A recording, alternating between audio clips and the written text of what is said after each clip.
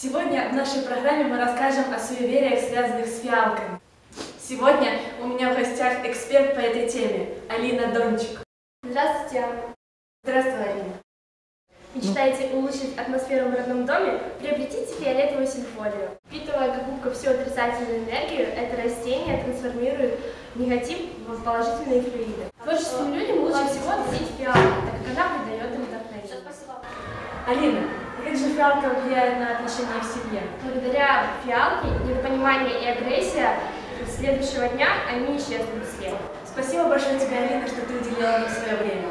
Спасибо, мне тоже было очень приятно. В следующем видео мы раскроем тему проблемы выращивания фиалок.